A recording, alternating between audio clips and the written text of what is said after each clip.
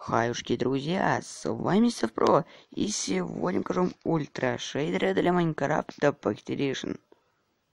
Ну что ж, эти шейдеры довольно прикольные и заслуживают вашего внимания. Во-первых, здесь есть прозрачная вода. Ну, вы, наверное, знаете, что в каждых шейдерах есть прозрачная вода, но у этой воды есть блики. Сейчас вы можете замечать на углах этой воды вот такие белые блики. Это очень прикольно и забавно. Также вода будет двигаться. Также здесь, в этих шейдерах, присутствуют тени, которые не нагружают ваше устройство. Но, к сожалению, здесь мне очень нравится свет. Он какой-то неестественный, то есть он маленько белый. Вот тут вы можете прямо четко увидеть вот эти тени, но тени опять же нужно маленько доработать. Но здесь очень прекрасное небо, в том числе очень прикольное солнце. Так, я свалился в воду. Ну вот, просто небо это божественно. Ну и как же без солнца? Солнце, опять же, я сказал, просто прекрасно. Вот у нас уже опять же видны тени.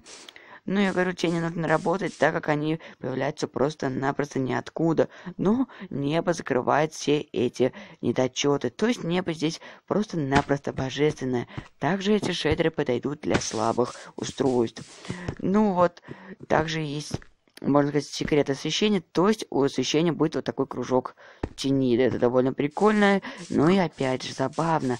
Вот здесь вы можете опять увидеть вот эти тени.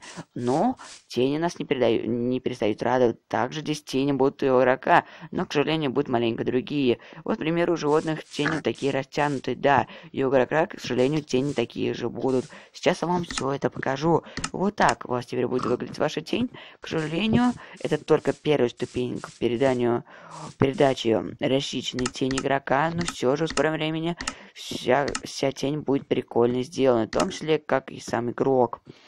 Ну что ж, надеюсь, шедеры вам понравится. На этом все. Ставьте лайки и подписывайтесь на канал.